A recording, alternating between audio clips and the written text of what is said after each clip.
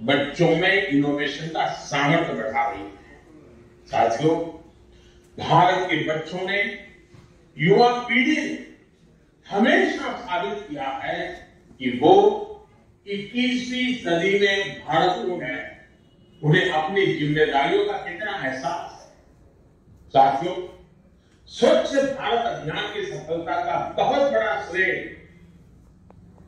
ये श्रेय भी मैं आप घर में बैठ करके, सब भाई बहन बैठ करके एक लिस्ट बनाएँगे, गिनती करें एक माता पिता का सपना यही होता है कि उसका बेटा ज़िंदगी में कुछ अच्छा मुकाम हासिल करे। हमारे साथ आकर्ष कौशल हैं और उन्होंने अपना नाम एकदम हरियाणा के अंदर, भारत के अंदर बुलंदियों पर पहुँचा दिया है, क्योंकि आज भारत के प्रधानमंत्री नरेंद्र मोदी जी की तरफ़ से उन्हें सम्मानित किया गया है। राष्ट्रीय बाल पुरस्कार होता है। ये पुरस्कार वैसे तो राष्ट्रपति भवन में दिया जाता है, लेकिन कोविड का ध्यान रखते हुए ये वर्चुअल तरीके से दिया गया। कोविड का जब मुश्किल समय था लोगों को एक स्थान से दूसरे स्थान जाना था, लोगों को ये नहीं पता चल पा रहा था कि वो पॉजिटिव है या नेगेटिव है उस दौरान आकर्ष काम पर लगा हुआ था।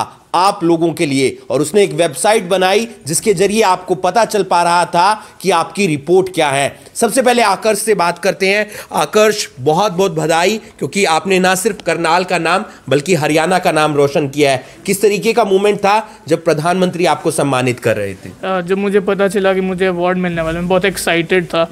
और मेरे को बहुत अच्छा लग रहा था। मेरे लिए गर्व की बात थी कि इतना बड़ा अवार्ड के लिए मुझे उन्होंने लायक समझा।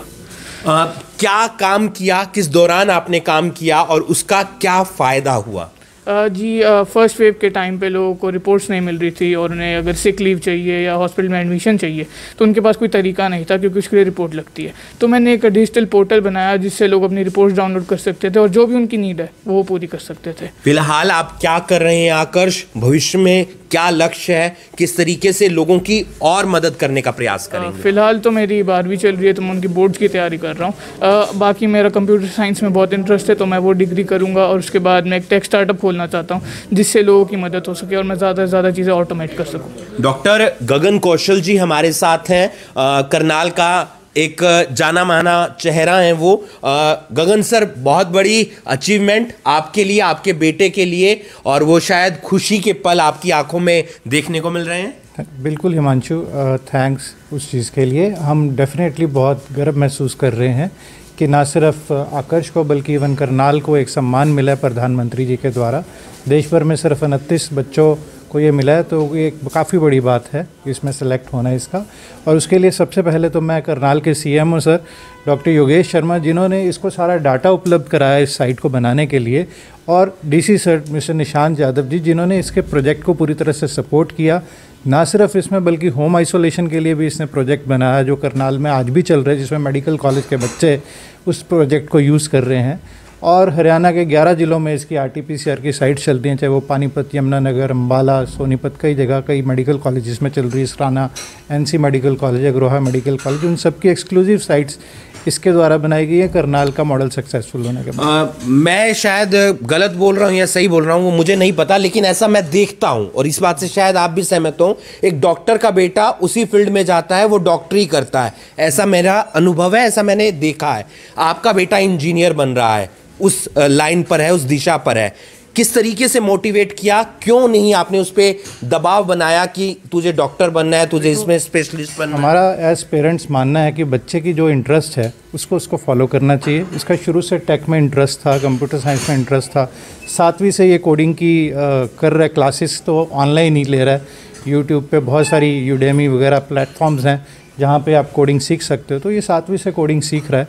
और लॉकडाउन के दौरान इसके पास वक्त भी था और ये एक मौका था जब हम देख रहे थे कि लोगों को नहीं मिल पा रही है। तो सबसे पहले तो इसने करनाल कोविड डॉट इन नाम की वेबसाइट बनाई जिस पे कि डेली डैशबोर्ड था। सीएमओ साहब ने वो डाटा दिया।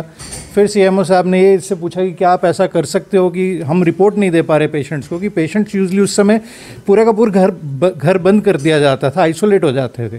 फ़िज़िकल रिपोर्ट लेने वो हॉस्पिटल जा नहीं पाते थे। ऑनलाइन सरकार के पास सिस्टम उस समय तक नहीं था। तो उस समय इन्होंने करनाल का पोर्टल बनाया। कल्पना चावला का पोर्टल थोड़े दिन बाद बन गया तो करनाल में दो पोर्टल हो गए। बट और ज़िलों में तो कोई कल्पना चावला की तरह पोर्टल नहीं भी था। तो फिर अम्बाला से एक फ़ोन आता है जी कि हमारा बना दोगे। फिर जब अम्बाला का बना धीरे धीरे कई डिस्ट्रिक्ट से सरकारी डिपार्टमेंट बोल सरकारी डिपार्टमेंट अम्बाला की साइट पर आज छः से सात लाख के आसपास विज़िट हो चुके हैं।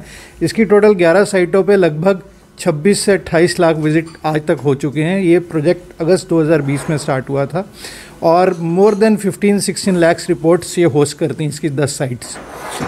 किसी की भी मेहनत कभी व्यर्थ नहीं जाती है। अगर आपको उस समय सफलता नहीं मिलती है तो उसका समय आता है और आकर्ष का समय आ चुका है क्योंकि प्रधानमंत्री नरेंद्र मोदी ने 29 बच्चों को सम्मानित किया। हरियाणा के दो बच्चे बताए जा रहे हैं। उनमें से एक बच्चा करनाल का है। माता जी हैं, आकर्ष की उनसे जान लेते हैं। कितनी खुशी, कितना अच्छा मूवमेंट क्योंकि माँ ही सबसे ज़्यादा ख्याल रखती है बेटे का। अभी तीन दिन पहले जब हमें पता चला, हमें वहाँ से फ़ोन आया मेल आई कि ये अवार्ड के लिए सिलेक्ट हो गया है। तो पूरी फैमिली में जो ग्रैंड पेरेंट्स हैं पेरेंट्स हैं, एक हर्ष और उल्लास का माहौल छा गया। खुशी इस बात की थी कि जो इसने मेहनत की है, वो रंग लाई है और इसके लिए इसको अवार्ड के लिए चुना गया है। सिर्फ़ माता ही नहीं, पिताजी और पूरी फैमिली का बहुत सपोर्ट रहा है। साथ में ये भी कहूँगी कि मीडिया ने भी बहुत सपोर्ट किया क्योंकि इसने जो साइट बनाई, उसको लोगों तक पहुँचाने के लिए आप लोगों का बहुत बड़ा हाथ है आप लोगों का भी धन्यवाद करना चाहूँगी। क्या आगे के लिए प्रेरणा ना सिर्फ़ आकर्ष के लिए, बल्कि हरियाणा के, भारत के उन बच्चों के लिए जो कई बार इंटरेस्ट किसी और में और दबाव कहीं और का? अब तो मुझे लगता है ऐसा नहीं है। पहले ऐसा जैसे आपने थोड़ा बहुत अभी भी है। डॉक्टर्स के बच्चे को डॉक्टर्स या तो वो खुद ही बनना चाहते हैं कई बार पेरेंट्स भी उनको लगता है कि नहीं हम भी इस अच्छे सेटल्ड हैं तो क्यों ना इनको भी उसी तरफ़ लेके जाया जा सके। लेकिन आजकल वो टाइम चेंज हो गया है बच्चे बहुत अलग अलग क्योंकि इंटरनेट की वजह से एक्सपोजर काफ़ी है तो बच्चे खुद ही अपना फ़ील्ड चूज़ कर लेते हैं। और क्योंकि हमने आकर्ष को अलाउ किया अपना फ़ील्ड चूज़ करने में तो देखिए उसने एक्सेल किया है तो इससे आई थिंक बाकी पेरेंट्स को अपने आप ही ये मिल जाएगा कि उनको भी ऐसा ही करना चाहिए कि जो उनका बच्चा करना चाहता है उसी में उसको सपोर्ट करें। बहुत बहुत बधाई आकर्ष। उम्मीद करते हैं ज़िंदगी में और अच्छा आप आगे मुकाम हासिल करेंगे। इस वीडियो को आप ज़्यादा से ज़्यादा शेयर कीजिए। बच्चों पर दबाव नहीं होना चाहिए। अगर दबाव नहीं होगा तो ज़िंदगी में कुछ ना कुछ अच्छा ज़रूर कर जाएँगे। आपका नाम भी रोशन होगा बच्चों का भी और आपके ज़िले का भी। इस वीडियो को आप ज़्यादा से ज़्यादा शेयर कीजिए और बाकी तमाम खबरों के लिए आप जुड़े रहिए करनाल ब्रेकिंग न्यूज़ के साथ। मान दिया गया है प्रधानमंत्री नरेंद्र मोदी जी की तरफ़ से आकर्ष ने बहुत अच्छा काम किया। क्या कुछ रहा? बिल्कुल आज प्रधानमंत्री बाल पुरस्कार का वितरण था और ऑनलाइन तरीके से माननीय प्रधानमंत्री जी ने अ, 2022 में देश भर के उनतीस बच्चों को ये पुरस्कार दिया जिसमें करनाल का हमारे यहाँ से आकर्ष कौशल हैं उनको अवार्ड मिला है। पूरे करनाल के लिए पूरे राज्य के लिए गर्व की बात है। और आकर्ष ने कोरोना के समय में विशेष रूप से प्रशासन की, सरकार की बहुत मदद की थी। R T P C R reports जो पहले अवेलेबल नहीं होती थी, एक पोर्टल के ज़रिए एक तो पोर्टल बनाया गया जिससे वो रिपोर्ट्स अवेलेबल कराई गई। दूसरा, Karnal covid dot in website पे जितनी भी कोरोना से संबंधित इंफॉर्मेशंस थी एक्सपर्ट ओपिनियंस थी ग्राफिक्स के ज़रिए कि कितने केसेस किस तरीके से बढ़ रहे हैं क्या क्या प्रिकॉशंस लेनी चाहिए, वो सारी सूचनाएँ जो है लोगों तक पहुँचाने का काम किया और लाखों की संख्या में लोगों ने उस पोर्टल का फ़ायदा उठाया। तो मैं आकर्ष को उनके पूरे परिवार को बहुत बहुत शुभकामनाएँ देता हूँ बहुत बहुत बधाई देता हूँ। साथ ही आज रा, राष्ट्रीय बालिका दिवस भी है। उस संदर्भ में हमने करनाल की सात बालिकाओं को पुरस्कृत किया है जिन्होंने अलग अलग फील्ड्स में कॉम्पिटिशन्स में विजेता बन करके और ज़िले का नाम रोशन किया है। तो सभी सातों बच्चियों को भी मेरी तरफ़ से बहुत बहुत शुभकामनाएँ।